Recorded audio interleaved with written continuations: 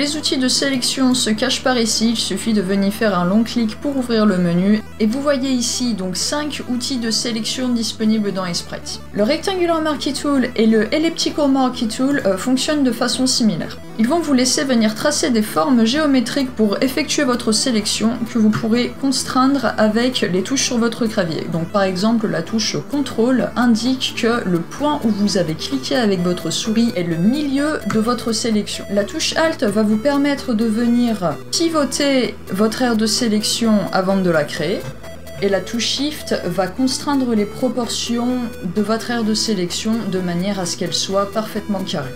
Comme je vous disais, c'est pareil avec le Elliptical Marquee Tool. Cliquez, faites glisser, relâchez pour sélectionner votre aire. Appuyez sur la touche Entrée si vous voulez que l'endroit où vous ayez cliqué soit le point central de votre sélection. Ici, la touche Alt nous permet de venir modifier la forme de l'ellipse que nous sommes en train de tracer. Et enfin, la touche Shift nous permet de tracer un cercle parfait. Pour utiliser le lasso tool, c'est très simple, il suffit de cliquer et de venir dessiner une aire que vous voudrez sélectionner, pas de piège.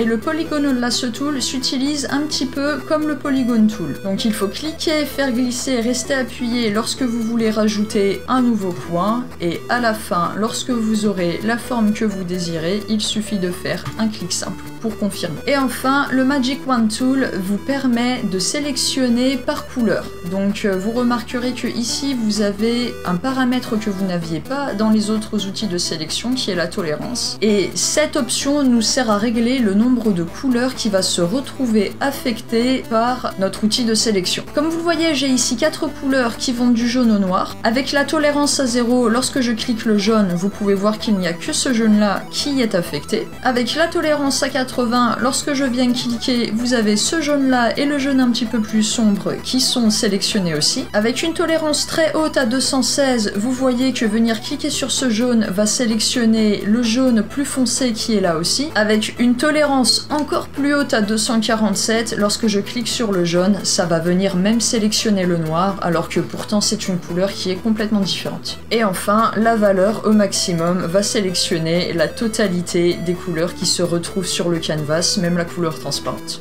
Et voilà, c'est tout ce que j'avais à vous dire sur les outils de sélection dans Sprite. J'espère que ce petit tuto vous aura plu et qu'il vous aura appris plein de bonnes choses utiles. Si c'est le cas, je vous laisse me mettre un pouce bleu pour me le signifier. Si vous avez une question, mettez-la moi dans les commentaires et moi je vous dis à la prochaine pour un autre mini tuto sur Sprite. Salut